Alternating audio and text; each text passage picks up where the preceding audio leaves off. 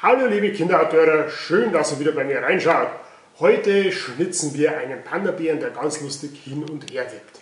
Dazu braucht ihr nur ein Stück Restholz, einen Stift und entweder ein Multitool, in dem Fall das Laserman Lieb für Kinder, beziehungsweise ein Taschenmesser mit großer Klinge und Säge. Bevor wir lossägen, schaut ihr euch auf Bildern einen Panda-Bären an und dann skizziert ihr ihn mit dem Stift aufs Holz. Wenn wir die Skizze haben, dann nehmen wir entweder vom Multitool oder vom Taschenmesser die Säge und beginnen ganz lustig den Ast zu sägen.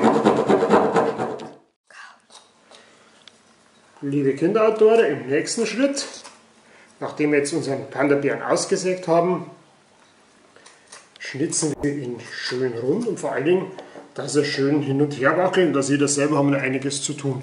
Mit dem Messer könnt ihr dann die Zwischenräume zwischen den Ohren und vorne bei seinen Pfoten auch rausschnitzen. Dann sieht das ungefähr so aus.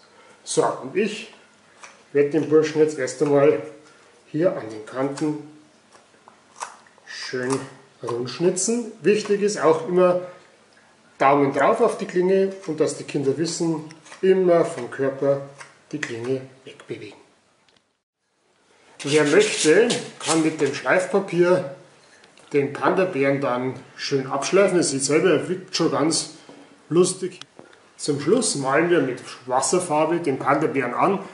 Das Schöne an dem Burschen ist ja, farblich hat er eher wenig zu bieten, nämlich schwarz und weiß, so wie ganz früher die Fernsehgeräte.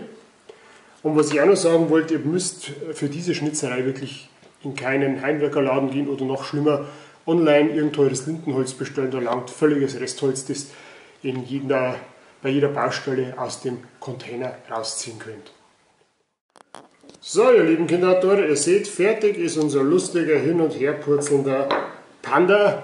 Einfach zum Schnitzen, die Kinder haben eine Freude dran, ihr sicher auch. Wie gesagt, ihr braucht nur Taschenmesser mit Säge, ein bisschen Schmirgelpapier, Wasserfarbe und ein Stück Restholz und schon könnt ihr auch so einen tollen Panda-Bären schnitzen. Aber wir haben noch viele, viele, viele hundert andere Schnitzideen für euch. Schaut auf kinderautor.de rein. Es freut mich, wenn ihr das Ganze gut findet und vielleicht liked.